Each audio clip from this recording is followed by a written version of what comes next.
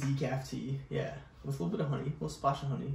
Fire. Ties it off nicely. Yeah. On top of that, like I'll do this with uh, glycine Mm. and holy basil to top off the night.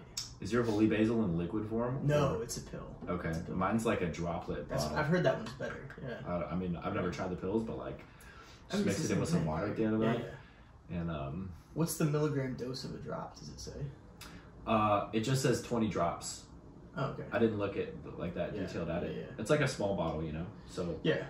I put, you know, I will fill up the droplet, and it gets like fifteen drops, and then I'll bring it back for a little more and put a couple more in. Yeah. You know. Have you noticed like significant changes in your sleep? to be honest, I've, and this could entirely be like my, like external circumstances affecting me, but I've been finding it really hard to fall asleep on time, Right. And I've been having some crazy dreams Ever since you started the holy basil. right around that time. Yeah. But Yeah. I wonder what that is. at the same time, like right when I started taking the holy basil was like when I found out that my dad was coming in town and staying at our house. Oh yeah. And so like he's Yeah. here now Right. and like staying at the house. Yeah. And so like I know that's that. gotta be fucking yeah, with my Yeah, I know that you, you know. mentioned for a while you were kind of dreading this. So. Yeah, man. But at the same time, Yeah.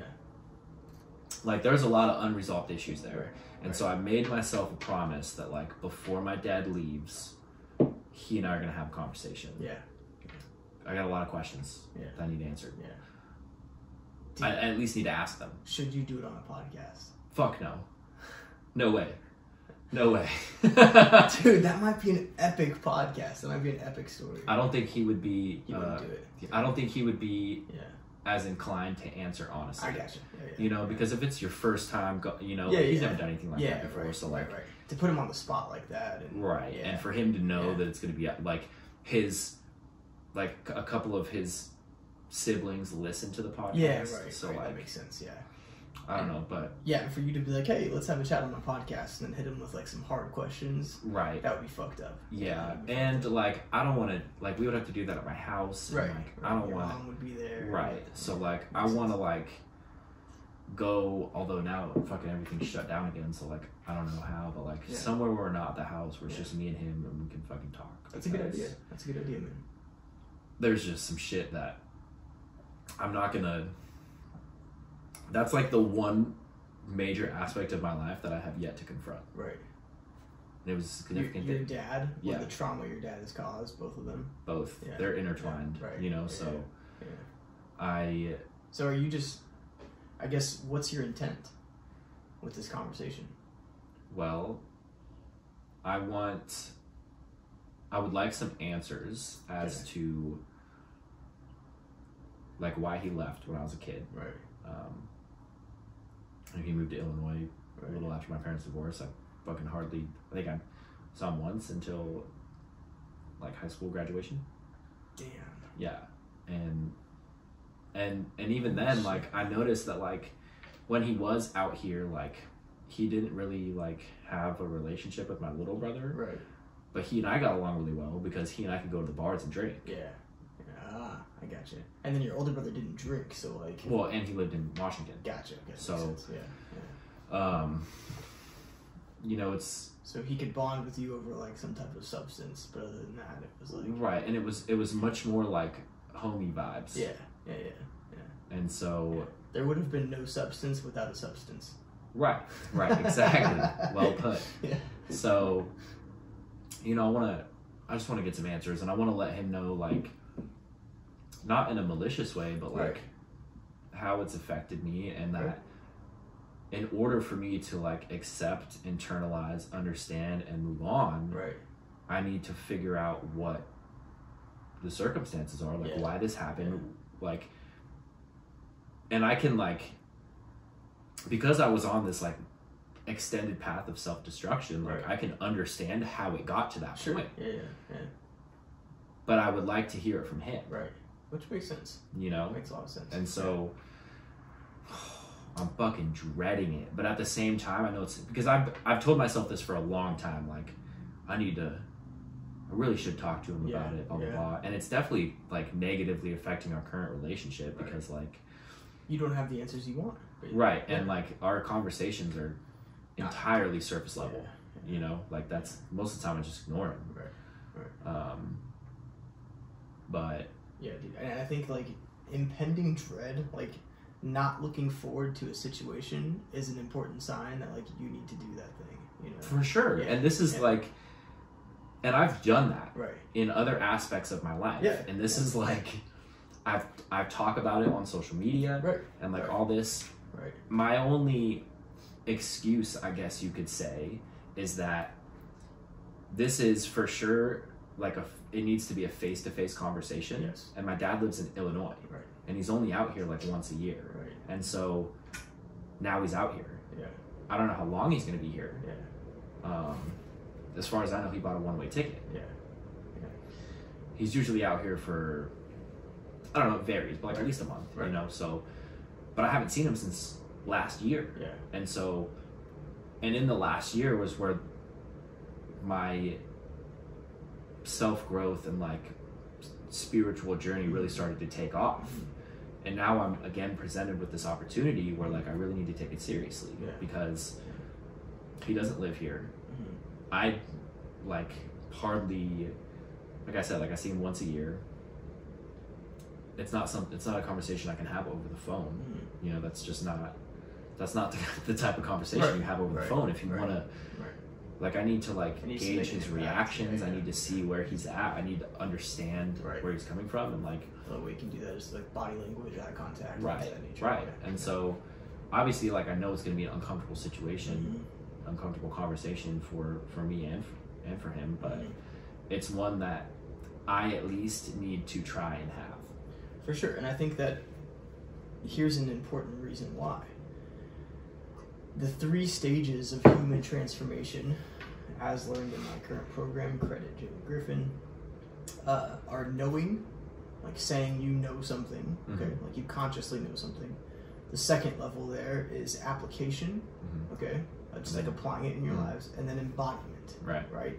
So you are currently you have created and are running a program literally about relationships and being vulnerable. hmm Okay, arguably one of the most important relationships that you can have in your life that should be healthier with your parents. hmm And one of the ways to have a very healthy relationship with your parents is to be vulnerable with them it's the only way about yeah about the areas that they you feel they miss or messed up on when you were a child. hmm So like this is a huge part of your embodiment for for your sure program and, as well. and this is this con excuse me this conversation that you're going to have right is a huge part of the embodiment. yeah, Yeah. and you know i've had i've had some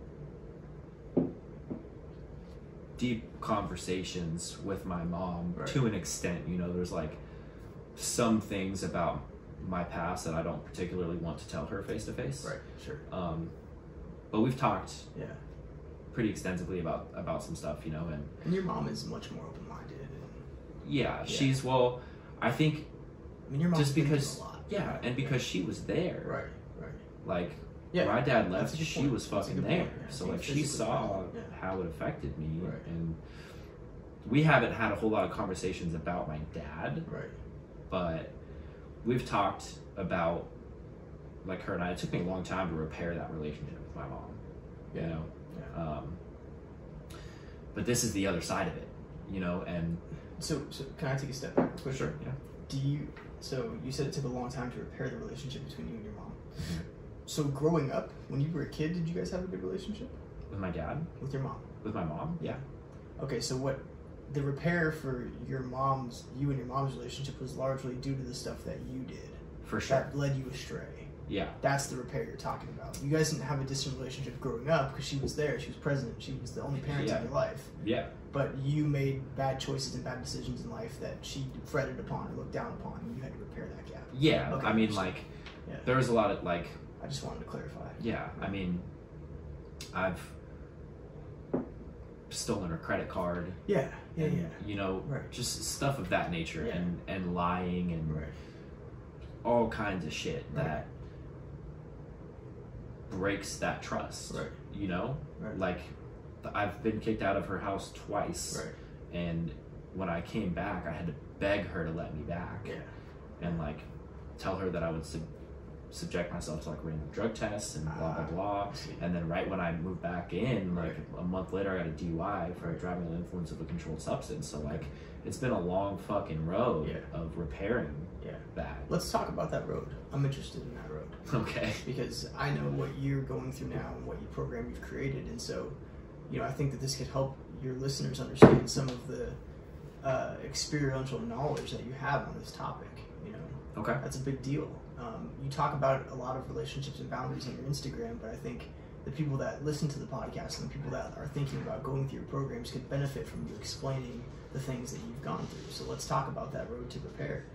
Um, what are some of the things that you did actively to help repair the relationship with your mom? So it was, you know, was there were. I wouldn't say it was like a straight decline and then Yeah. a straight incline For of sure. repair. Yeah, yeah, Um, yeah. It's more like a heartbeat, ups and downs. for sure. Yeah. And you know, in in 2015, um, I was 23, almost 24. I went to rehab for the first time Okay. voluntarily. I asked. I told my mom like, I should get some help. Right. you know. And you know, she agreed. She took me up there, and I abstained from substances, Right. and I was in the program for forty five days, and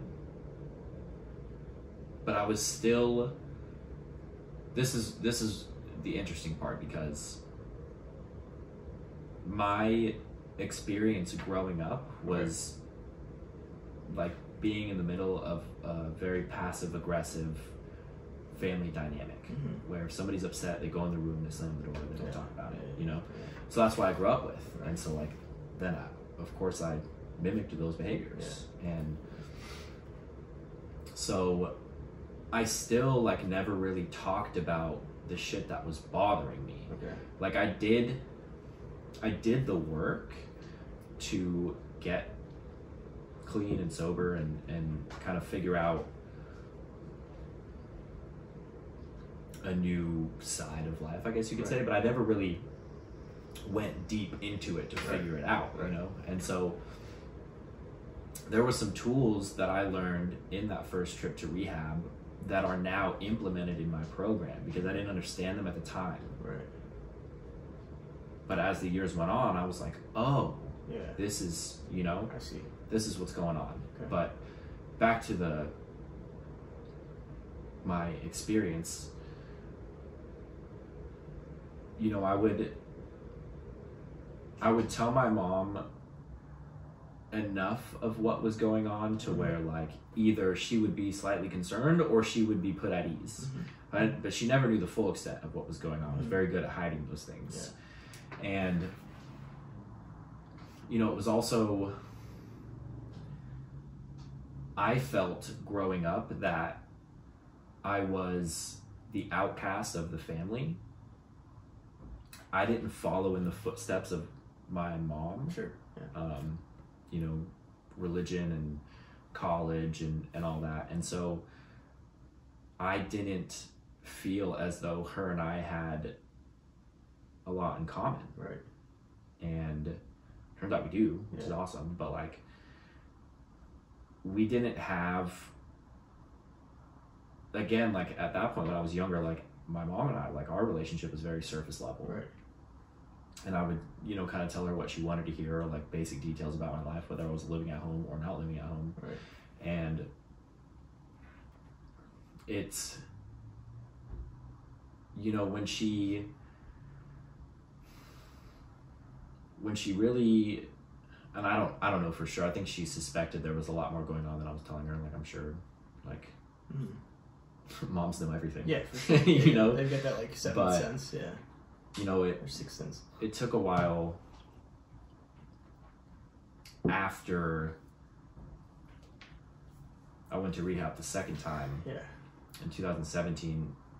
Even then, you know, I I was working and then I was working two jobs and like on the on the grind, you know, but Right. that again limited my ability to like spend time with my mom, Right. you know? And so but I was living at her house. Right. And so we started to rebuild the trust of me not doing anything shady Yeah. and Yeah. I think she realized that I was like taking it seriously. Yeah. Um, and so, you know, it took, I don't know, two years Right. probably of like consistent effort to be respectful and mm-hmm. trustworthy and communicate and, you know, Yeah, and I'm sure part of that was that you know you had set you were and had set boundaries for yourself at the time, and mm-hmm. this was probably your first time in your life throughout these things going on that you were actually adhering to these boundaries. In regards to substances, In regards for to sure. substances, and yeah, and yeah. even even Yeah. beyond that, like I had I had all of the friends, Mhm. all of them, Yeah. and so like There wasn't one friend you didn't have, exactly, but how many of those were actually friends? You know, dude, like fucking four Yeah, out of like yeah, four hundred, yeah, yeah, you know, yeah. and so I know you were always the guy that was like, "Yeah, I know a guy. I know a guy." yeah, I know and like. I would like Yeah. hop from friend group to friend yeah, yeah, group, yeah. and like Yeah, I wanted everybody to like me, Mhm, and so I mhm. would isn't that funny? portray an Yeah, image of like I could man? get along. It is, man, and and so you know, part of me like getting sober and like holding firm to like I'm not going to do drugs or drink alcohol or whatever. Right. I also had to by default Yeah. eliminate a fuck ton of people from my life. Right. And I got some backlash for that from certain people. You know, they were upset and Naturally. you know, I got a lot of, oh, like Nick thinks he's better than everybody Yeah. now, blah Yeah. blah blah, all Yeah. you know, and I had to hold firm to those because I knew that if I didn't, Right. I would just slip back into the same Right, patterns, right. and This is a really important distinction I want to touch on, but keep going. um, you know, it's it's not just like a game of like set boundaries one time, your life is forever Yeah, changed. no, no, it's such a continuous and evolving thing and the more you do it the more you learn and the more you do it the more you get comfortable with it and you understand different areas you start to uncover the blind spots Yeah. when you set boundaries you're like oh shit i didn't even see that stuff Right, over there Right. and then you can you know continue to build these layers Yeah. of your own personal protection Yeah. Yeah. and i never did that my entire life That's important. there's are you know Yeah. vulnerability nope It's powerful. Never. I my I got bullied heavy in middle school, and my mom didn't even know Yeah. That. I got Yeah. bullied to the extent that I did until she heard this podcast Wow. um, on one of the episodes, the first episode that I recorded, It's and funny you say that. she.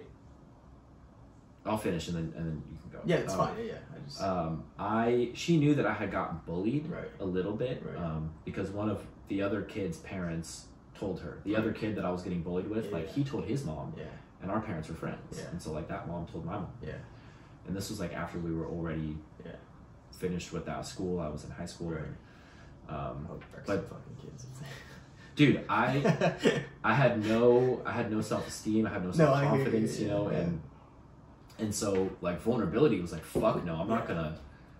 For one, like I don't believe that I'm capable of standing up for myself, Right. and two, I'm not gonna let anybody see that it's bothering me. yeah, for sure. And so I hid that 100%, and I internalized it, and Yeah. like that just fucking sat with Yeah. me for a long Yeah. time, and It's like a virus. It grows. in for sure and that's what that's like what ultimately led like a, that was a big part of like what led to like people pleasing Yeah. because Yeah. i was like fuck like these are kids that i was best fucking friends with Right.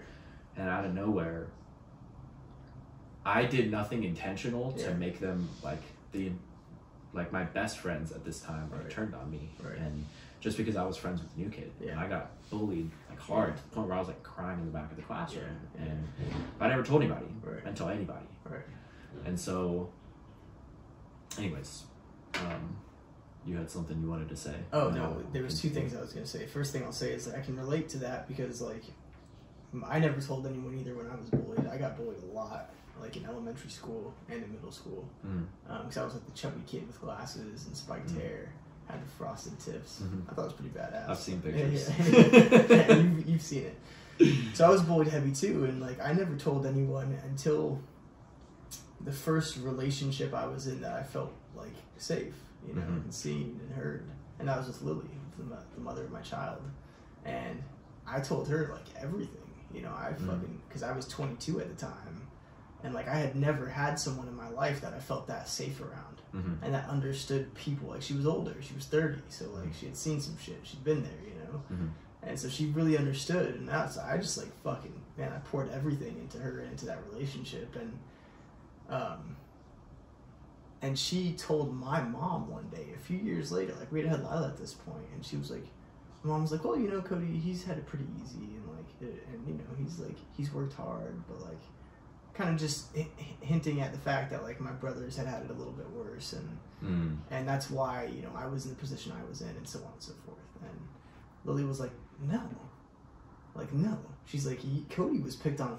fucking lot. Like here are the stories from that he was picked on." My mom had no idea. She was like flabbergasted. Mhm. Not only that, like most of the bullying was done by my older brother. You know, so like while she thought that he was like had this different life, and I had a different life where I was kind of protected and shelled, it was like no, like my older brother would bully me in front of his friends Mm. and like they would all laugh at me while while I was like crying. I remember one day I was in the we were playing handball, and do you remember in handball like we butts up? Have you ever played butts up? Mhm. Where like you go against the wall and someone throws a handball at you, right? Mhm. Okay, so like we were playing that one morning, and it was like six o'clock in the morning. It's cold as fuck outside. It's me, my brother, and like a few of his friends, and they're older, so I want to be the cool kid, you know. Mhm. Like I'm like in sixth grade, he's in eighth grade, and I was like, oh, I want to play with these kids and show them what's up, you know. Anyways, like it was my turn to go butts up on the wall, and I I go and stand up against the wall, and my brother runs up behind me and gets within like a foot of me and just pegs me in the back with this ball, dude.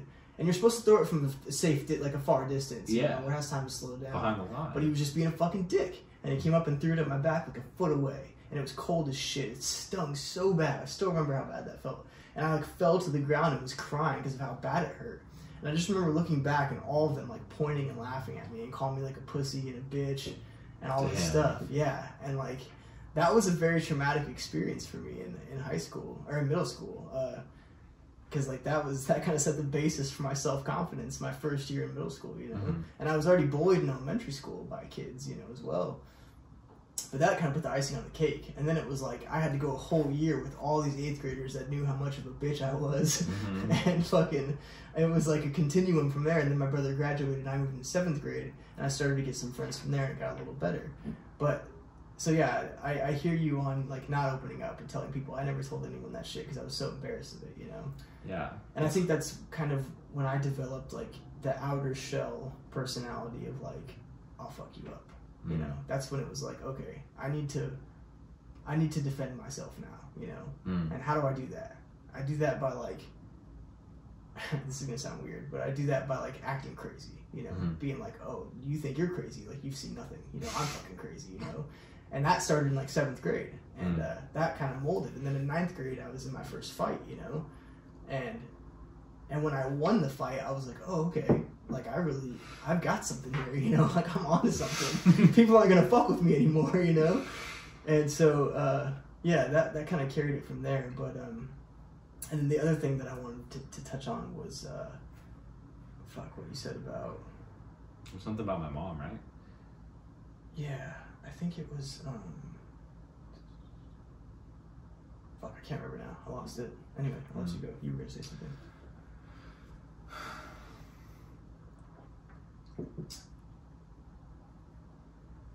I'm trying to remember where I was at before the bullying to like bring back your train of thought, but We were talking about how you repaired the relationship with your mom. yeah. like what measurable steps you might have taken to enhance that relationship or better that relationship. Yeah, what I what think did that it was look like for you? Did you do it unconsciously or was it a conscious thing? Were you really trying to make the relationship better? I was trying to make myself better. Ah, And in doing that, yeah, improved the relationship. because she saw the effort that you were putting in. Right. She And- respected it. yeah. Yeah, And yeah. this is like, you know, the like arguably like the most important component of the program that I developed is like improve the relationship you have with yourself yes, and in doing that Yeah. You'll improve every other relationship Yes, you have. Yes, you know you have to put yourself first. And this is i think that's a trait that i picked up from recovery and i know they teach it a lot in like aa and na but i didn't do any 12 step program. Yeah. you know but i bits and pieces i i i kept and i and i used. And Yeah. you know as important as you know there's a lot of a lot of people have families that are alcoholics or drug addicts and Right. they will tell you the successful ones Yeah. that the most important thing in their life is their sobriety because without that they won't have anything else Right. so as much as they want to put their kids first they have to put their sobriety first otherwise they don't have their kids Yeah. and so the same concept applies Mm. if you you know let's say you're in um, an amazing relationship you have your significant other is fucking awesome Right. but you don't have a good relationship with yourself Right. it's just gonna be you're gonna find yourself in a lot of toxic patterns yeah and if you can make that switch and put yourself first and start working on yourself Mhm. It will in turn benefit your relationship For sure. Yeah. But if you don't do that, Yeah. the chances of you ending up in a healthy relationship long term Slim to none. slim to none. And that's just on the on the romantic relationship Yeah. side. Right.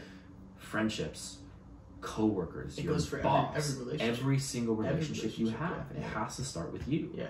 And it's you know, there was there was a lot of things that I did that I didn't realize worked or or that could be replicated for other people. Mhm. I thought it was just like, oh, this is this is just how I'm doing it, and like it's turning out all right. Yeah. But there's a lot of things that I did that I picked up along the way from different people and places and programs, and they've they've culminated in a way of life for me in the relationship aspect that has greatly benefited me Mhm. and it's The things you've done for yourself. You're the things. I've done for myself Yeah. have massively benefited Yeah. me and I'm a big proponent of that as well. yeah Yeah. and it's you know it takes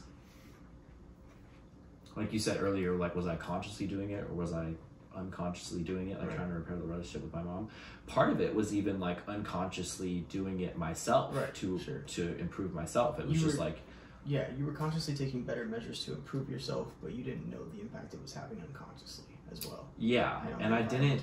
I wasn't like actively trying to improve my own personal well-being. Right. I was just desperately trying to not do drugs. Yeah.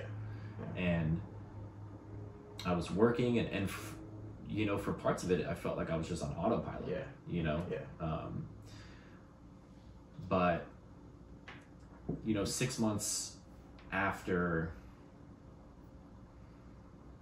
seven months after I got sober, I was arrested, Mhm. and I had been dating this girl for a very short period of time. And Yeah. when I got out of jail, she told me that she loved me, Yeah. and I said it back because I was.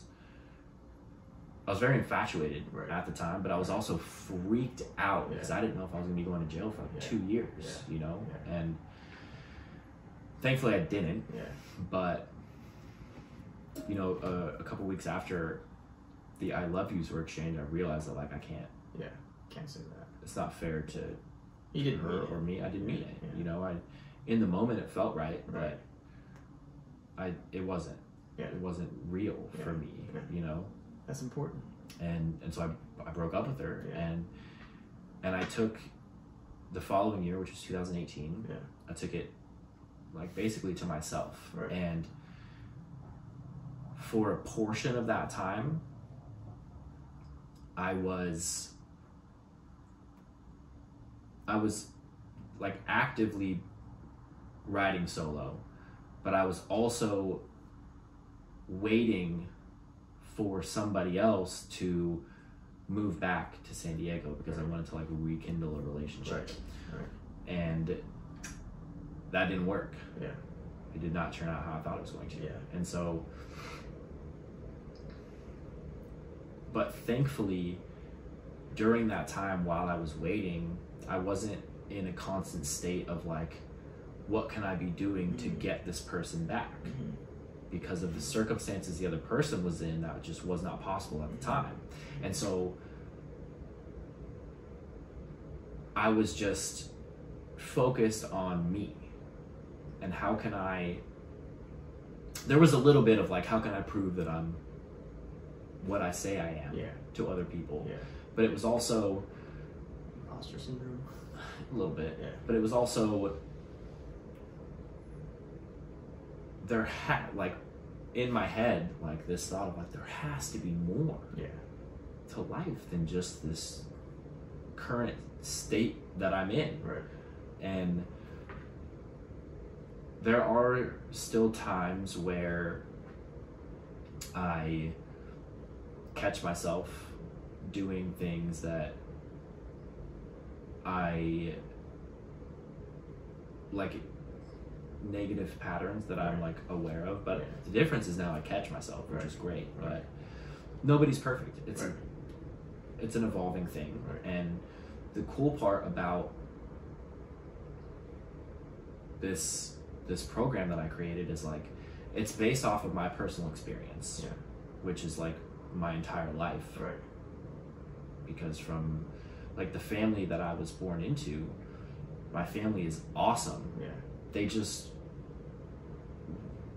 I was not taught how to effectively communicate my emotions. Right.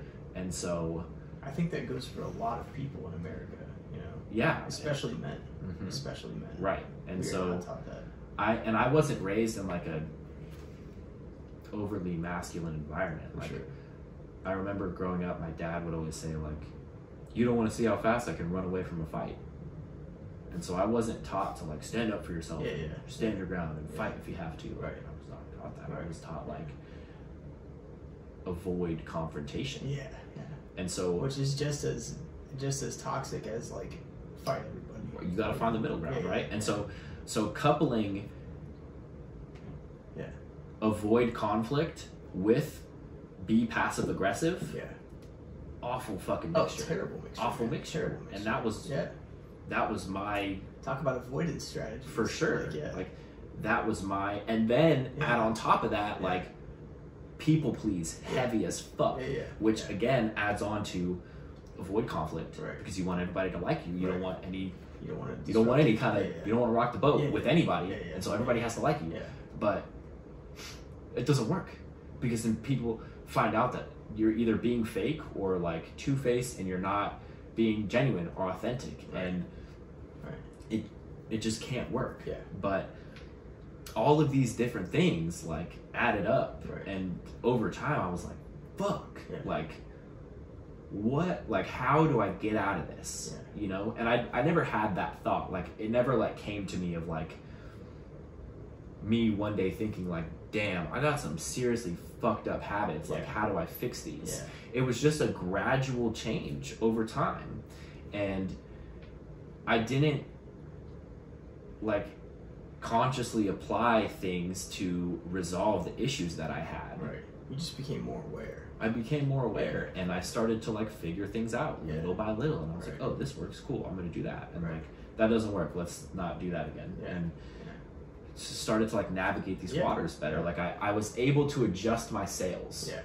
There you go. to go with the wind yeah, yeah. you know yeah. and you stopped resisting. You stopped fighting. It was like okay, yeah now it's time to move forward, and make progress. move forward, Yeah. but also be aware while Right. moving forward. Yeah, for sure. Yeah, yeah. You know, and so Arguably, the only way to move forward is to be aware of what's holding you back. You know. that's true. Yeah. Good point. So I Um, mean, but yeah, so the cool thing about this program is that it is my experience that I've used and developed into something that that can be replicated for other people. right, And so far, I'm getting excellent feedback, right. and That's good. That's good. it's great. You know, it makes me feel it's so fulfilling. Yeah. you know i'm it's not like it's not like i'm out here making a ton of money Right. but, you're that making- doesn't even You're making happy money. and it doesn't right, but like it's not the money's not even on my mind Right. like Right. it's on my mind to the extent of like i have a car payment and insurance but like I'm still right now i'm on unemployment so like, it doesn't even matter Right. and but it's fulfilling because i'm able to like i can see the change Yeah. that i'm having on other people Yeah. in a positive way Yeah, and i'm like right. holy shit Yeah. you're telling me i can do this Yeah. Yeah. and like make it a legit career Yeah. if you want to call it that you know Yeah. It's a career for sure. and but the other benefit is that while i'm doing it Yeah. i'm also learning more about myself Yeah. and how best to relay these strategies to other people Ah. so while i'm helping other people Ah. i'm also learning which means i get better Yeah. which means my program gets better Yeah, which means the people that i help get better yeah. and so it's just this constant climb dude. That's crazy. You know? I, I would say my biggest hindrance right now in my program, not to take away from yours, but is like, I feel like I need to come out with the perfect program. nah bro and that's been my hindrance is like i'm like nobody's gonna want to work with me if i can't actually like there's no value in their lives so like that's my biggest hurdle right now is that like i'm sitting down and i'm going deep as fuck into like psychology and like i've got my my computer has like 30 tabs open with like robert kegan's developmental theory leadership theory self-authorship use that theory and stuff program do you yeah yeah it's send it to Yeah, everybody yeah, It's i'm good. like it's good You- dude, it's so good. yeah. I literally have it like as a PDF, and I'm Right. just like, new client. yeah yeah, yeah. Hey, you should read this. Yeah, yeah. Like, That's it's great, awesome. It's, it's a great, know? it's a great, great, great thing. Yeah, man. Um, and he also talks a lot about self authorship and stuff. And then what I found out recently, because that's what I want to do, Jordan Peterson has a self authoring program, hmm Yeah. which is crazy. I had no idea. I was You watching. didn't know that? No, I looked up on Bro, I thought that was like No. low. I thought that's what No. sparked your idea. No, dude, no. I was on YouTube and I typed in self authorship just to like get some ideas, you Mhm. know, just like get some thoughts going and things. And it was Jordan Peterson on Joe Rogan's podcast, a little 13 minute clip. Press play. He starts talking about his self authoring program. So I'm like, oh fuck. I almost go- did that last year. I, I signed up for it right away. It's only 30 bucks. Mhm. And so I was like, fuck it, dude. I'm going to do this and that'll help me add value to this, you know? Mhm. Um, but so far, I'm making some good progress. You know, I've got it outlined and the way that I'm gonna. Uh, the way that I'm gonna do it is is. It's as if you're writing a book, you know. Mhm. So like self awareness is the first start. That's the starting intro to the program. Have to be aware for any change to take place. Mhm. So self awareness is the first start, and the the title of the chapter, the caption there, I guess, is like opening your book. You know, Mm. like so you're starting to open your book. Okay. The next step is uh, self leadership. So now that you're aware, like of what's going on in your life, what are the areas that you can lead and guide yourself and discipline yourself that will result in good things? What are the areas of your life that you need to be more disciplined to get good results? And what are the habits that you need to change? So this whole area is all about getting yourself in line, Mhm. showing up as the best version of you, disciplining yourself uh, to a point where it's like you can remove your bad habits for the most part. You can adhere to a set of good habits daily, and you can in, uh, reflect internally and know yourself. You know, you can Mm. look in the metaphorical mirror without looking away. You know, and the next step is is self authorship, and this is where it begins. And I call this chapter like picking up your pen. I'm like, this is Mm. you're about to write. You know, Mhm. and then this goes through like, what do you want for your life? Creating your life by design, you know. And then this last part ties into something I want to talk about on your end too. Uh, but then it goes into like constantly revising and editing, and that's the last part of it, where it's like you're gonna go back through your book, you're gonna read things, chapters, areas, maybe parts that you don't like, and you're gonna figure out how you can change those things. Not change them when they happened, but that's past authoring. You know, you're gonna author about what happened in the past, and you're gonna go back and say, okay, how can I avoid that situation in the future? Mhm. If it didn't benefit me, so you're gonna constantly revise and edit your book as you go to help you make better decisions based on the circumstances and the situations that you encounter. Dude, I want to do it. when you finish, I'll do it. All right, all right, and uh, uh, so then a big part of Sounds the great. the continuity portion as well, and something you touched on earlier is like when you set boundaries, when you set the boundaries of eliminating certain people from your life, that's something that's very challenging for people to do. Mm-hmm. People have a really hard time thinking they can't cut people out of their lives Mm-hmm. or can't cut situations or jobs or whatever out of their lives, you know. And so a big portion of my belief system that I'm going to uh, intertwine into this program is making sacrifices, Mm-hmm. and that's going to be the revising and editing version of your book. So you're gonna you're gonna have to make sacrifices, and you're gonna have to identify where in your life those sacrifices need to be made. And I don't care what it is, whether it's with your family, whether it's with your closest friends, whether it's with your relationship, like you need to understand, not you, but Mhm. uh, generalized, you need to understand how important it is to make those tough decisions in life. How Mhm. important it is to sit down and look at yourself in the face and be brutally honest and be like, hey, this is where my life is not going right. And how do I change it? Through cutting this, this, and this out, you Mhm. know, and making those sacrifices because, like I've said before, if you don't make sacrifices in your life, your life becomes a sacrifice Yeah. you know and so I, that's kind of the route that i want to take this program and um, already you know i've i've dove into a significant significant portion of this and like that's the problem i'm having now is i want a perfect program before it even Yeah. comes out and hearing you say this right now is just like mind-blowing for me because i am racking my fucking brain around like i can't put out a video unless it's like perfect Mm. I can't have clients work on a worksheet unless it's perfect. I can't even I can't start week one until I have week sixteen finished. You know? I'm gonna I'm gonna let you and the and whoever listens in on this episode onto a little secret. I didn't even have my program finished when I launched it. Damn. that gives me anxiety. Hearing that gives me fucking anxiety. It wasn't even done. Yeah. I had a general outline, Yeah. but I had I had the details and steps and like the program figured out like sixty percent, and then I just fucking boom, it's out. Who wants it? You know. Damn, dude. and it's been a fucking ride. You know, Sure. it's taking a little bit to like get in the rhythm and and Yeah. To like remember certain things, and you know, it's it's entirely new to me. Yeah, You know, yeah. so there's definitely gonna be some trial and error and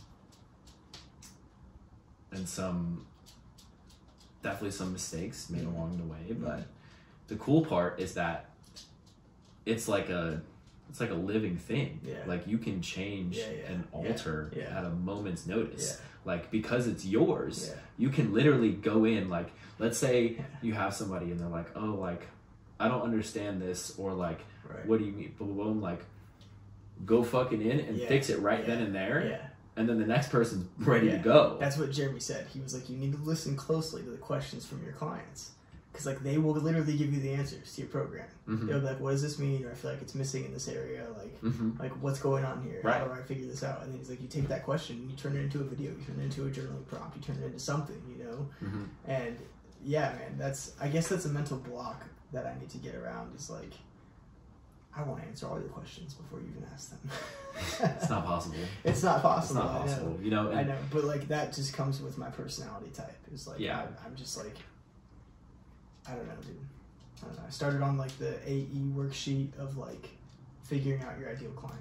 You know, I Mm. started that, Mhm. and I stopped doing that because I was like, I know my, I, I know it in my head. I know who I want to help. Okay, so now let me create this program. All right, and then I start creating the program, and I go back to the worksheet. I'm like, oh fuck. I didn't consider that. Yeah, know? bro. So I'm like, I gotta finish this worksheet before I do anything else, you know? Dude, it's hard. Yeah. So anyway, That took me a long time. I thought I did the whole thing wrong. I was like, I don't fucking know what I'm doing. Yeah. And I sent Yeah. it to Jeremy, and he Yeah. was like, dude, yeah. I don't know. Like, he was like, you think you did this wrong, but it's like so much more in depth Yeah. than like what I've seen from other people. Yeah. And I was like, oh shit, Which okay, good, you know? cool. Yeah. Like, that's makes me feel good Right. because I'm like, oh, like I'm because there's part of me, especially at that point in time, I was like, you know, I'd signed up for this program and like trying to create something for myself, but I had no fucking self confidence. I was like, I have no Yeah. idea what I'm doing. Right, like, man. I wasn't even like fully convinced when I signed up for the program, and I went into it not having a single fucking clue what I wanted to do, Right. and like somehow Yeah. Jeremy's fucking wizard ass like got me to like see things that I didn't Oh, realize, and I was like, yeah. oh shit, this is where I can be of Value. the most value, and it's awesome. Yeah. you know, and but kind of to like tie all this together is well, I guess first to answer your question or your comment, like it does not have to be fucking perfect. Yeah. It'll never be perfect. Right. Ever. You just have to keep working at it. Yeah. Um, but you know, I, I think everyone has unique gifts, Mhm. and it's not necessarily that you're born with the gift of like X, Y, or Z. That's the answer to all your life's problems and you can turn that into something Right. that's going to make you successful whatever your definition of success is Yeah. but another large massively important piece of it is your life experience Mhm. what you've been through like the cliche phrase of like grow through what you go through Mm. and Yeah. I haven't heard that. you've never heard that No. oh shit okay so But it makes sense. whatever whatever you go through in life Yeah. you hopefully grow. You either f- like fold Yeah. or you grow. Right. And I think in in my experience and in my like perception of the world, the people who go through the most shit end up when they come out the other side Yeah. with the most depth Yeah. to them and and they're able to offer so much value to other mm-hmm. people because of their life experience mm-hmm. and they can you know they can use what they've been through and what they've learned to save people Yeah. the trouble of having to do the same shit that they did. Exactly. Exactly. And you know, when I was doing that that worksheet um, that you were talking about, uh, it turns out that like my ideal client is like me six years ago. Yeah, yeah, you know, And that's the thing. Yeah. like where I was at, and like who, Right. For one, like who best for me to help than like somebody Right. that's Who's like I've fucking been there. Yeah. and I can, and this isn't to say that like every single person is at a specific point, and those are the only people that I'm gonna try and work with. Right. So you have to meet people where they're at. Yeah. But it's been, it's been a fucking journey, man. Yeah. Yeah. Well, I mean, it's the comeback journey. It is the comeback Yeah, journey. It's the comeback You journey. And and so you said something a moment ago. I'm sorry, I'm losing my mind tonight. Um, okay, yeah, you said like you, that you identified your ideal, ideal client, and it was who you were six years ago. Okay, so the funny thing about that is like my ideal client is who I am now. Oh, Yeah, interesting. Because like I want to teach people how to author their own life, and the way I'm trying to do that is through authoring my own life. Hmm. And the the way I'm authoring my own life is by creating a self authorship program. Interesting. So that's kind of it's unique in that scenario where it's like Nice. I'm also going through it with the client because this is me literally authoring my life. This is what I want to do with my life. Mm-hmm. So th- right now I'm in the first stage. I'm actually I'm in the writing the book phase. You know, Mm-hmm. I mean I've been writing a book for years, but metaphorically speaking, like this is the start to my new book. You know. Mm-hmm.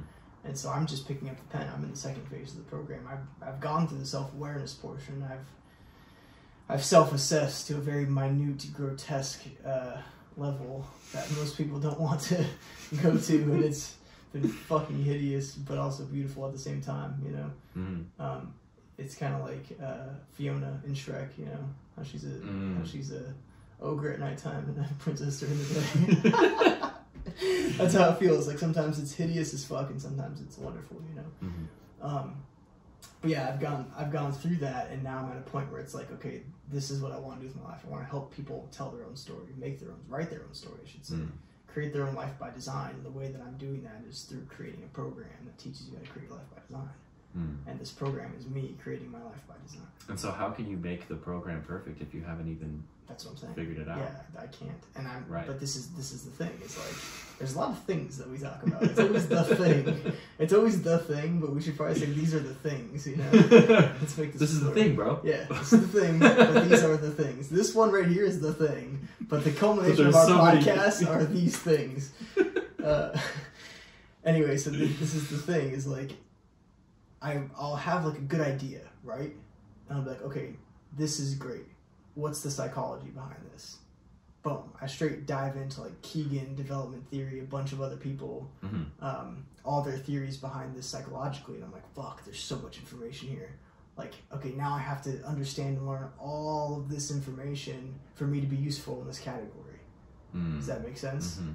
And I'm like, because there's so much to know, and if I don't understand all of that, like in, in, in grave detail, then I'm doing my clients a disservice. Because I'm giving them my opinion on something that's been researched and studied for, for hundreds of years by people far more intelligent than myself. I don't think there's ever a way to know it all. There's not. You There's can not. know- but there's like foundational principles for some of these things. For sure. like, You oh, should know should enough. Yeah. But, But, then it's like then I have the thing I beat myself over the head with where it's like, well, dude, you're not a psychology teacher. You know, you're not a therapist. Like you, you would. This is not a search for a PhD here. Like you're just trying to help people. You know. yeah. Well, I got like, I don't know if it's entirely similar, but like, you know, I got, I got asked, like one of my current clients, like on our initial call before they were accepted into the program, Right. they're like, so like, what's your background and ex- like, what makes you credible Yeah. To do this? Yeah. And I was like, That's a good question. damn, What was your response? I basically just gave like a brief rundown version of like Yeah. my life, my experiences, what I and like what I've learned and Right. how I feel it's applicable for others who are struggling with similar things. Yeah. And Yeah. that's all it is. Like I'm not a I don't have any any sort of formal training. I don't have you know, I've taken one psychology class. Yeah, yeah, yeah. and Yeah.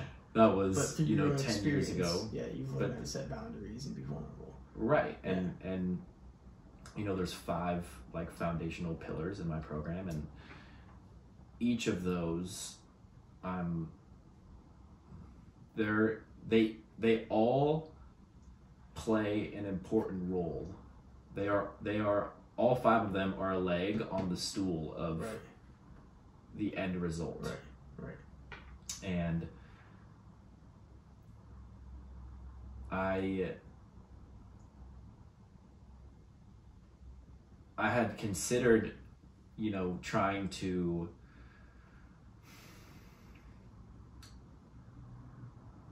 put more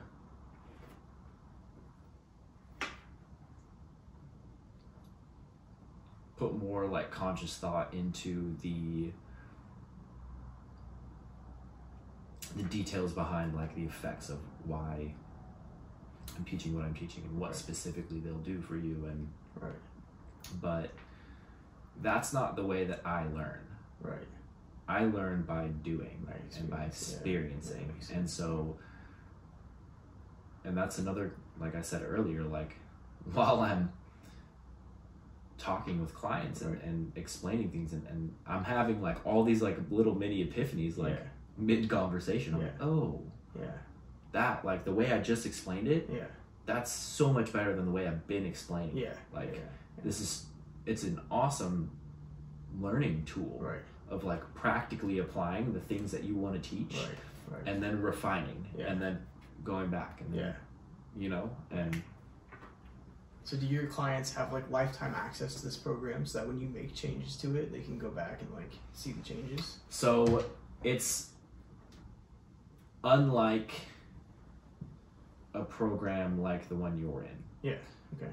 um, they have like access to me Yeah. all the time, Yeah. and whatever resources I give them, they have Right. forever. Right. Um, but to be honest, like Yeah. I don't know, I haven't even had one person finish the program yet. Yeah, I gotcha. Okay. So, yeah. You know, I have Where, where's like what is the hosting platform? Is it an online platform that you post things through, or is it how does it work? Uh, so it's uh, weekly Zoom calls Okay, to connect yeah. with the clients, and then I send them through Google Drive each week what they need. Gotcha. Okay, that's legit. Mhm. I like that. I like Yeah. that setup. It's a good setup. Yeah, so So how many clients do you have now? I have five, and I have a sixth one starting this upcoming Monday. Nice. That's great, dude. Yeah, Is that too much of a workload for you right now? no, dude, I thought I was gonna be overwhelmed with Yeah. five, Yeah. and um, So you're doing five calls a week, yes, uh, all on the same day. No, Soon to be six. Mhm. Okay. no, it's spread out. Like I'm, I have time slots available all seven days of the week. Okay. Um, they they seem to be,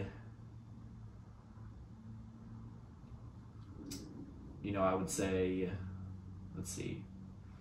Generally speaking, they all fall on.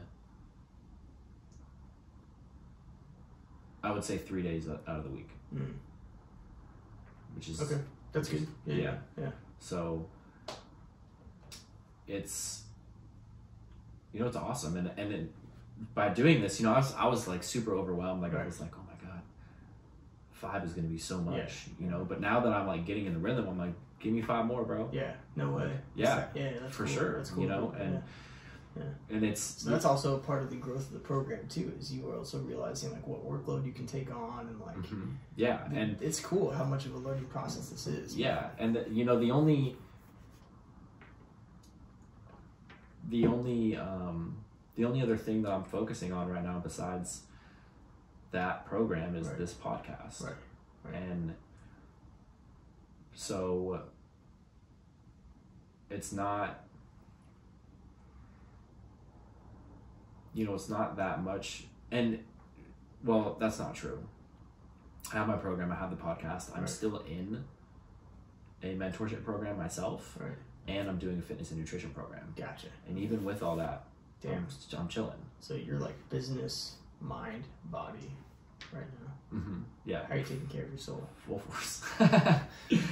Um, missing an aspect. It plays in. No, it plays Nah, in. yeah, You know, I have. Sure. Well, plus you meditate, you journal. I meditate. Yeah, I journal. yeah. Um, the float is back open, so Oh, I nice. did a yeah, did a float last week. I got Yeah. another one tomorrow morning. Nice. Um, and I've and I have them all like racked up because they roll over. Yeah, yeah, yeah. So I have a yeah. bunch, and um, You know how you can tell who's gonna do well in quarantine and who's not? Who? People who can go in sensory deprivation tanks. Because that is that is a brief synopsis of time, yeah, or I guess like a brief period of time of like what quarantine is like. You know, yeah, you're in a dark room for an hour with no senses. right. Like your mind is the only tool you have in that place. Mhm. So what does that look like for you? What does it look for a lot of people? Mhm. It looks like insanity for most people, Yeah, which is why people are going fucking insane in quarantine. You know. yeah, man. But it's dude, it's so fucking nice. It's so And, nice, like, man. If I didn't get if I didn't get uh, motion sickness, I would Mhm. totally do it again. Yeah, But I, I got sick as fuck last yeah, time. yeah. I remember. Yeah. Yeah. but you know that's the soul aspect is like I just I just went back to that last week. Right. Um, on Thursday, this was the first time I'd done it in months since we went. That was the last time I did it. Yeah. Um, but I, you know, I journal and I meditate and I go on I go on walks. Yeah. Regularly through my So neighborhood. you're out in nature constantly. Mhm. Yeah, I mean not let's say like nature. I'm like walking around my neighborhood, but there's a park. Yeah, I'm walking through the grass. yeah. You know, That's good. um, and you know I've I take um, some holistic supplements to. I know that's more of like body and mind, but it definitely puts me at ease Sure. and you know I'm, I'm trying to as best i can Mhm. incorporate a well-rounded hmm holistic healthy life Yeah. Yeah. And Which, dude, I mean, that if there's something to strive for, it's that. Fuck how much Yeah. money you make. Fuck what you drive. Yeah, how much man. car you have Like- house. All that. it's and you know i struggle with like me personally i'm i'm skew very heavy towards like the feminine energy side Right. so for me to like set goals and achieve them on time and stick to a rigid Absolutely. routine. Yeah. It's really hard for me to do that. Right. That being said, it's interesting because I'm like very passionate about this, like the podcast and my new program that I've created, and I genuinely believe that it will help people, Yeah. Yeah. significantly Yeah. help people. And that And belief is so- everything. Man. Right. And so while I may like procrastinate a little bit here and there and I might slack off on Mhm. whatever, like I get shit done because I believe in what I'm doing. Right. And Right. I feel like that makes all the difference. You know. for sure. Um, we talked a little bit earlier about someone that you and I both mutually know who is, I won't name that person, but who is like complacent in their life, you know? hmm Um, and I had a conversation with this person recently, they mentioned how much anxiety they have. Mm. And so, kind of to tie into what you're saying, like this is someone who doesn't set goals, someone who's just coasting through life, someone who's very satisfied, quote unquote, with the day to day standard of living, hmm someone who is just kind of going with the flow and suffers from tremendous anxiety. hmm And so, the conversation I had with this person, they were like, I was like, dude, your anxieties are like, they're trying to tell you something, you know? They're trying to tell you, like, the path you're going down is not the right path. Like, the, like your body is literally responding to danger. Like Mhm. that's that's what anxiety is. It's like your body's trying to warn you that like you're in danger somehow. You know, Right. like what you're doing is not right, or what's happening around you is not right. and You need to stop that. You need to do something different. You know, hmm um, that's your body's response system to what's going on externally and internally. You know, hmm and when I said that, that person was just like, "Oh, I just buried it deep." And I was like, "Damn!" And that that hit me because it was like, how many people coast through life like that, and just have these emotions and these feelings that they like, "Oh my god, I need to go see a doctor and get some prescription medication because I have anxiety." And it's like, yeah, do you really have anxiety, or does anxiety have you? Mm. You know? So this is, you know, this is a. It's interesting that you brought that up because at the very beginning of my program, I implement for my clients like a tool for them to use. And it's used for them to track their feelings Right. and Ah, the circumstances surrounding them. yeah. I think we, we talked about We this. talked about this, yeah. But it's it's great to understand because you're right i think a lot of people are just like either shoving shit down or on autopilot and they're just like hey whatever Yeah. get out of here i don't need to deal with that Yeah. right now Yeah. but if even just being aware Yeah. of the feelings Yeah. that you have Yes. is a huge step in the right direction Yep. and as a byproduct it's a great way to identify triggers Yeah. Yeah. and when you identify the triggers Mhm. you can start to set boundaries. Boom, boom, boom. Yep. And it's. And when you identify triggers, like to take that an opposite route, though that's those are huge catalysts to spiritual awakening. Arguably, those are the only catalysts to spiritual awakening. You know, what? triggers. Yeah. Well, I meant like in. Well, I guess it also applies, but I meant like in the example you were just using Yeah. with this Mm-hmm. person that we mutually know. Let's say it's. Um, let's say it's uh, the the place they live or the environment that they work in or whatever or someone that they hang out with that they always get anxious when they're around this Right. person you know Right. track and Yeah. see where you, and that's that's where the the boundaries come up Yeah. it's like Yeah. every time i'm at this place i feel like off Yeah. or like every time i'm around this person Yeah. i get a weird feeling Right. you know and it's like cool let's like for one like take it a little bit like a little step further than like weird like Right. let's really try to identify what it is Right. and why Yep.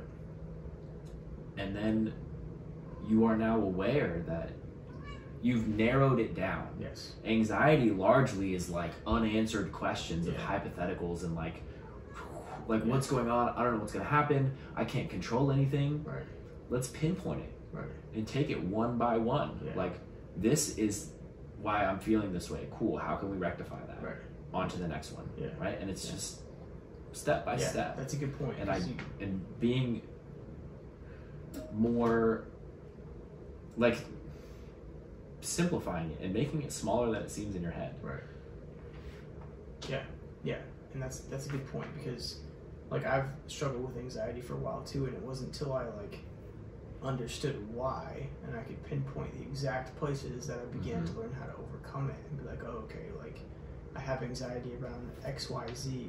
Well, like, what is X? Why do I have anxiety around it? Mm-hmm.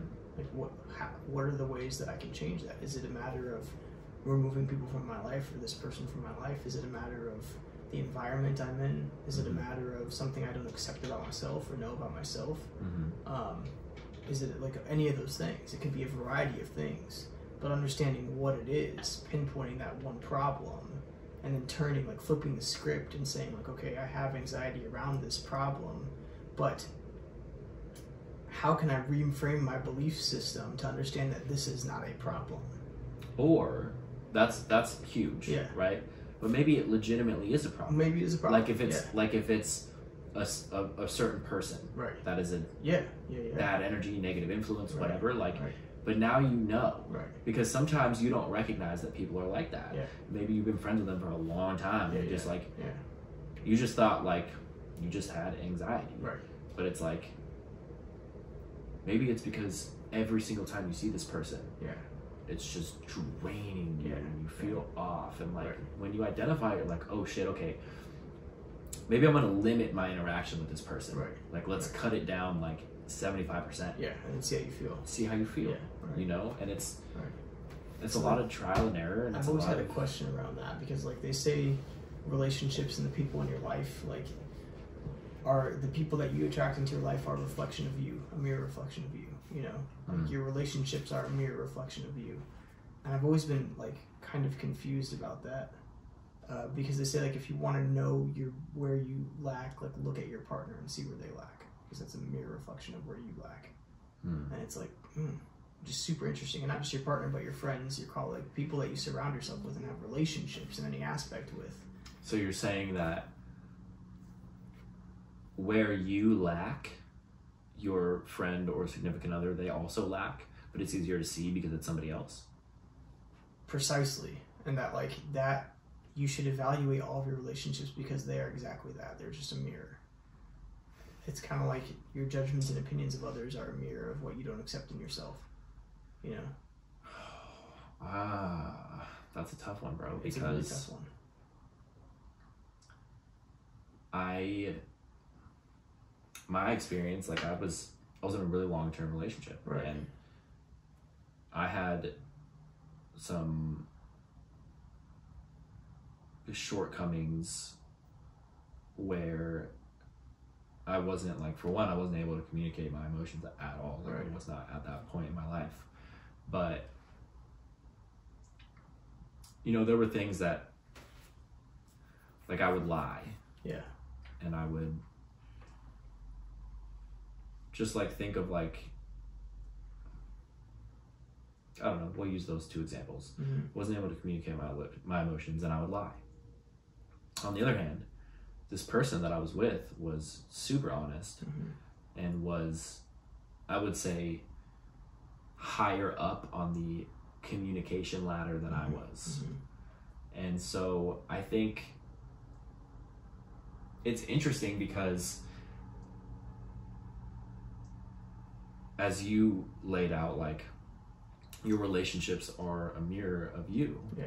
But what about like the massively overused phrase of like opposites attract? Right. How Well, do the- those coexist? this is all my this is like my whole lingering question around this is I was in a relationship for a long time as well. And you know, as the relationship progressed, I realized that like I'm growing more than this person. hmm And like I don't want to say that I'm better than this person because better is subjective, but like there are certain areas of life that the characteristics that I held were more effective to living a higher quality of life. And those characteristics did not exist in my partner. Hmm. So like, I struggle with that because of that reason. Like I didn't see myself in my partner. I saw kind of like a stranger.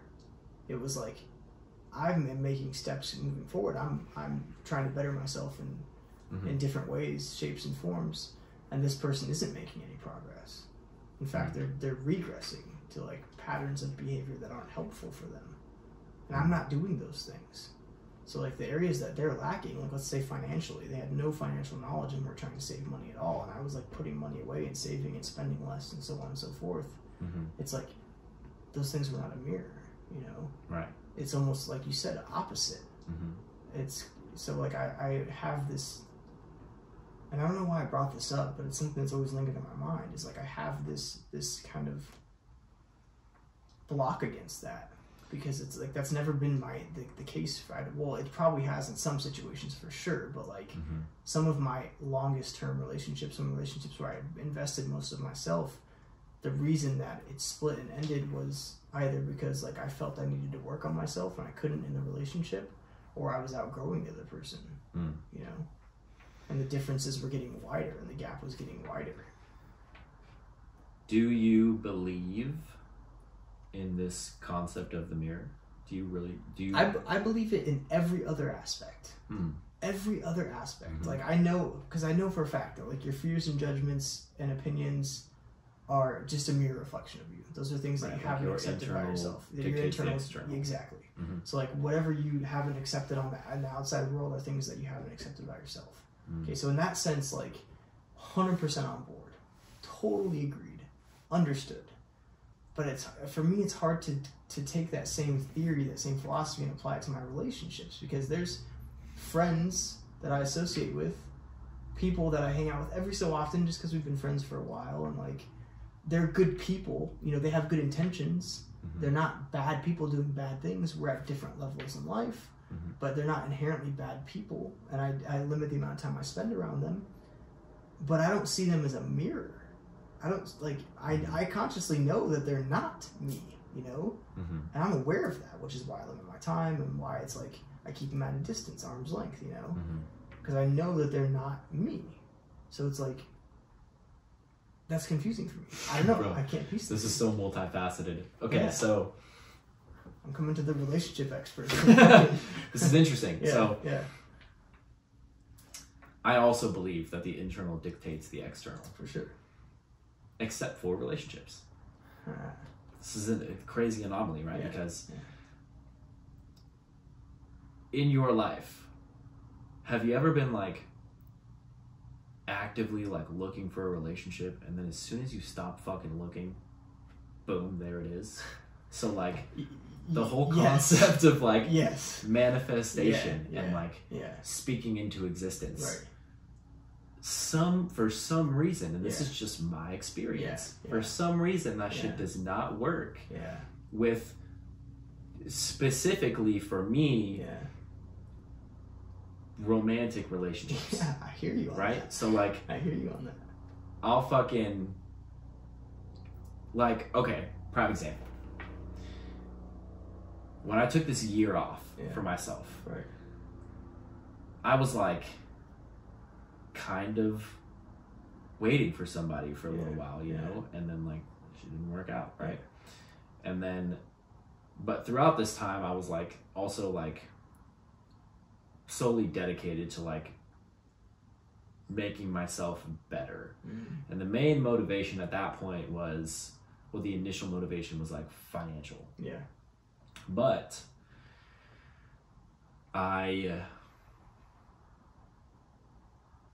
I also like stopped hanging out with pretty much anybody, you know, and I was working all the time and and just kind of keeping to myself and trying to like work through my own stuff, right? Right. And as time went on, I was less and less interested in like trying to find somebody Right. to date because in the back of my mind, you know, at that point I was how old was I? Twenty six for the first half of the year and twenty seven for the second half of the year, Right. and that's like prime time to like want to engage Yeah. in a relationship and like specifically like sexual activity. Right, like you're right. like Yeah. it's hard to it's hard to ignore that. Yeah, yeah. You know? But you know, as time went on, I was like, okay, I'm just gonna stop worrying about it at all. Right. It was like on my radar a little bit, but like. I would say it was on my radar like ten percent of the time. Yeah. And the rest of the time it was like I'm doing me, Right. fuck everybody else. Right. And then once I said like fuck it, I'm not like I'm not worried about anything else. Right. Wholly, like wholeheartedly, like Yeah. now that ten percent is gone, Right.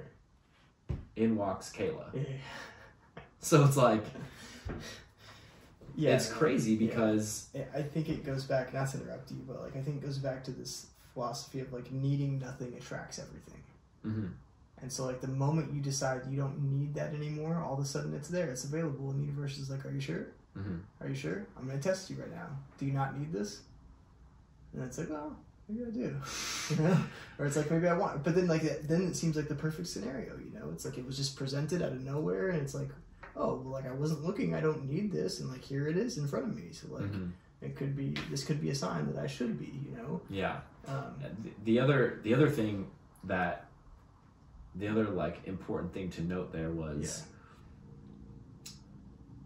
I almost moved to North Carolina. right. Like I put in a transfer request Yeah. with Costco. Yeah. They accepted that transfer request. Yeah. I went out there for a week Yeah. and then I decided like, ugh, Yeah. Wasn't doesn't quite feel right. I'm not gonna go. Right. And then a month later, Yeah. here's you know, Yeah. I know, and I so- hear you, man. So there's and- things like you just but- can't ignore. You know? and and but to to bring it back around to like the the mirror aspect um she's super emotionally mature. Right. whereas like i'm like just surpassing like toddler years you know? So like like she's full grown adult. Yeah, yeah, and i'm like fuck. Yeah, yeah, i'm trying to catch up yeah, you know? Yeah, and so but there's but and this is like goes back to like robert Kegan like Yeah. some people are higher than others at different Yeah. points it's a fluid scale, right. A and fluid so Well, also, as you mentioned earlier, like the people who go through the most stuff are the ones that are most mature or experienced in that area.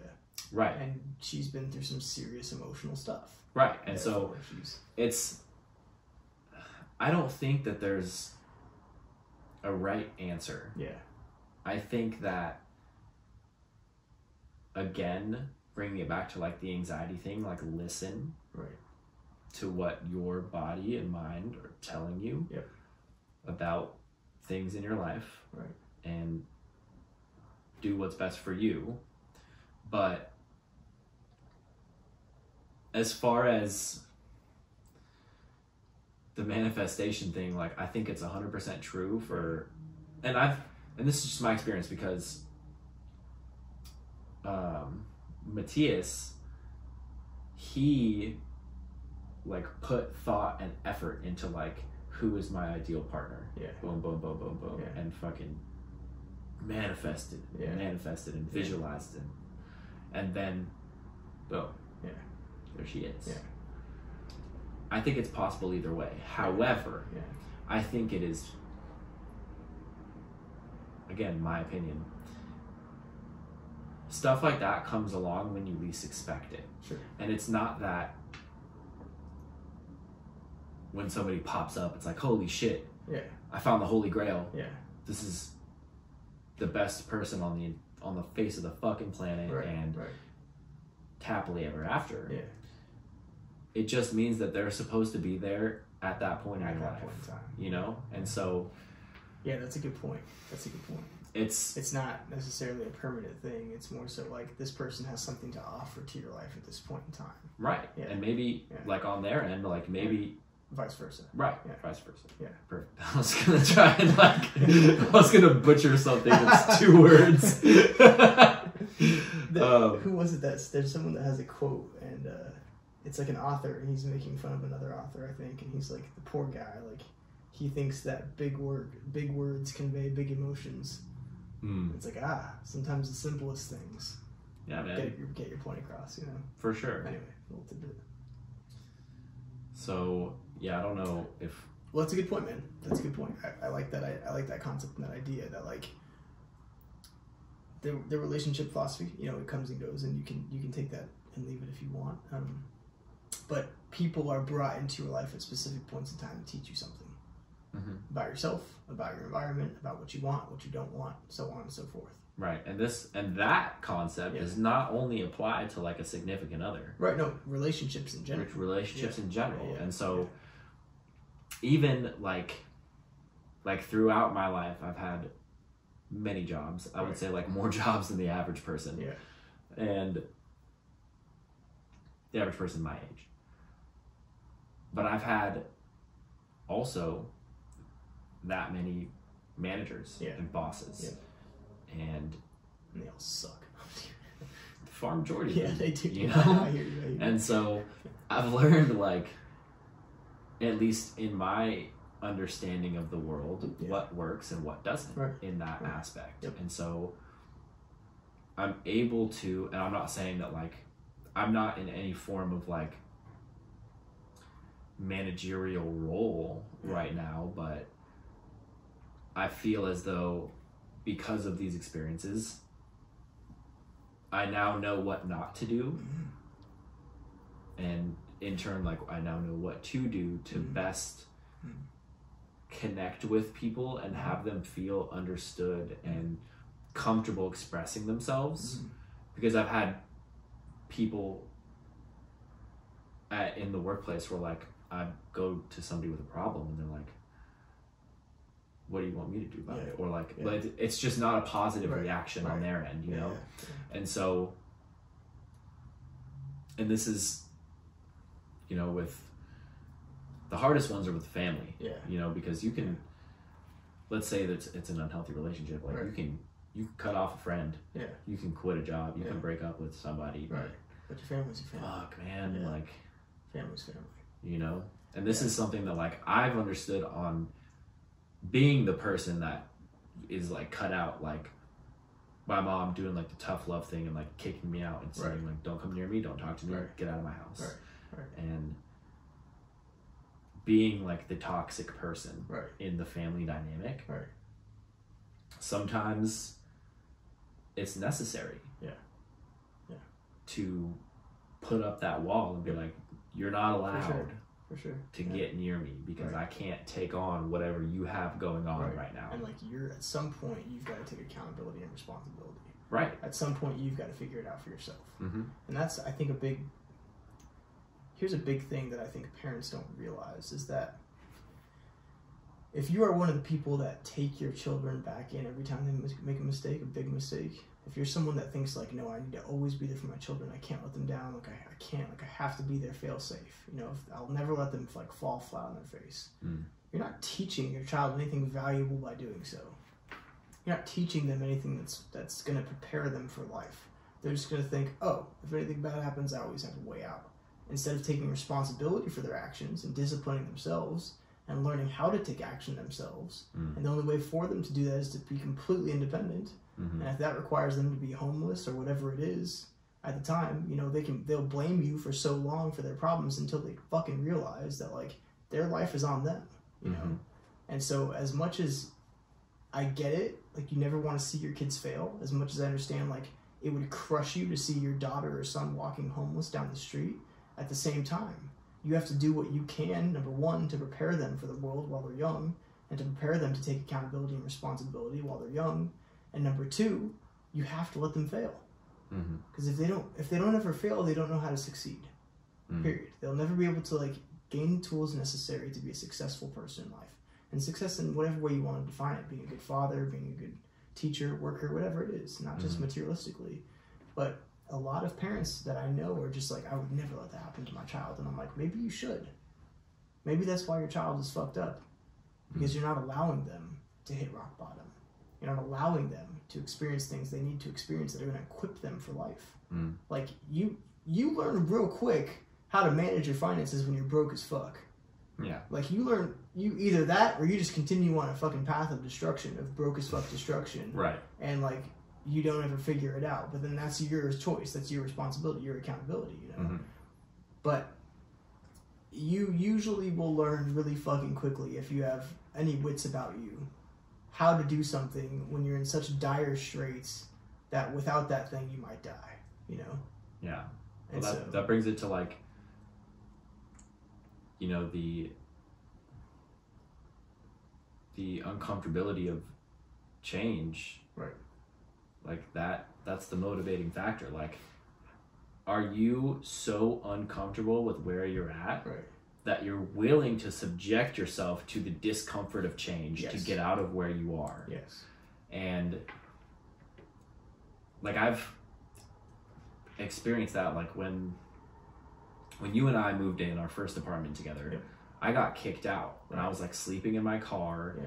And then I asked to sleep at your house Yeah. and your stepdad said fuck no Yeah. and so I was like the homeless basically for like almost a month until we got that apartment but I was like okay like how am I gonna figure this out because I got to go to work and I Yeah. can't like not shower Right. and I need money for like a deposit for an apartment I need to be able to pay rent Right. and like I have to figure it out Right. and I figured it out Yeah. You know Yeah. it wasn't the most ideal situation but No. like I made it work Right. and so And that's the thing. You either make it work or you fall fucking flat on your face. right Yeah. in which case you, you know what not to do next time exactly. Exactly. It's the concept of like you either win or you learn. You know? right There is no loss. Mhm. The only loss is if you give up. right When you decide like, oh, I've had enough. This is it for me. That's when you lose. That's when you lose. But if you decide like, damn, that was a fucked up situation, but I learned something from it, and now I can grow. Now I can be better. Now I can do better. Mhm. You know. But you'll never know that. You'll never know what you can withstand if you if you don't put yourself through it. You know. very sure. You true don't get in the trenches and figure the fuck out. Figure it out yourself. So that's the way to do it that's life. that's life That's all people say. Flying high in April, shot down in May. It's a good song. All right, my friend. Want to wrap it up? Oh, yep. Sounds good. Any final thoughts for the viewers? Final thoughts, man.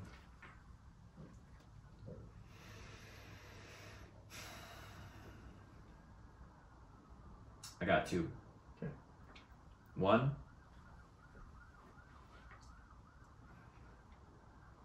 If you feel as though there's someone in your life that you need to have a conversation with that you know it's going to be uncomfortable, Mhm.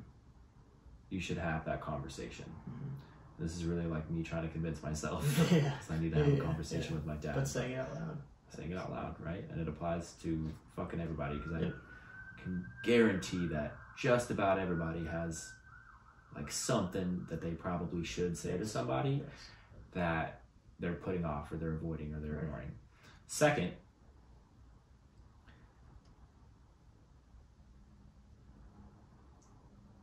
the most important relationship that you have is the one you have with yourself. Mm. And if you can understand yourself on a deeper level, every single relationship you have and will have in the future will benefit from it. Yeah.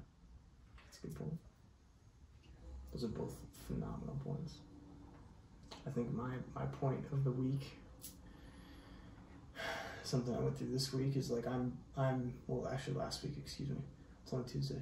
Uh, I'm overly self critical, like in- intensely self critical. Just it's terrible. It's bad. So one thing that I learned that somebody told me was like, be graceful with yourself. Mm. Like it's hard to kill your old self. And it doesn't happen overnight.